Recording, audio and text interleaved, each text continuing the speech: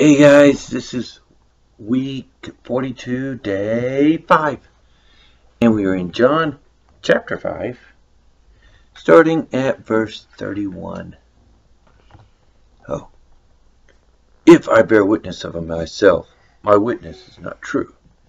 Therefore, if another beareth witness of me, and I know that the witness which he beareth of me is true, uh, he sent Ye sent unto John, and he bare witness unto the truth.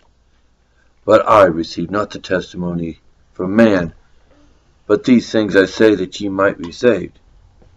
He was a burning light, and ye was willing for a season to rejoice in his light.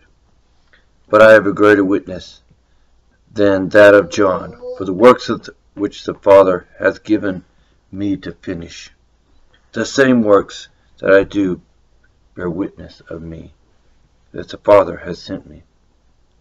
And the Father himself, which has sent me, hath borne witness of me.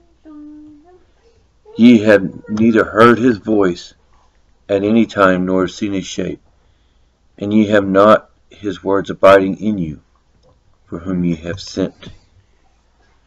Him ye believe not. Search the Scriptures, for in them ye think Ye have eternal life, and they are they which testify of me.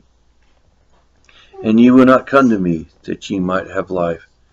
I receive not honor from men, but I know you, that ye are not the love of God in you. I am come to my Father's name, and he received me not. If another shall come in my own name, him ye shall receive.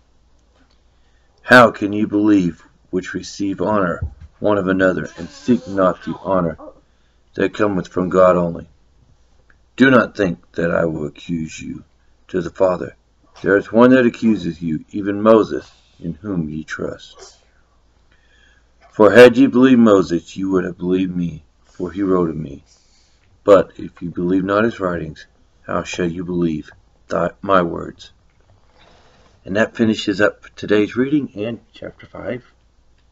So Monday we get to start with chapter 6. So I see you Monday. Bye.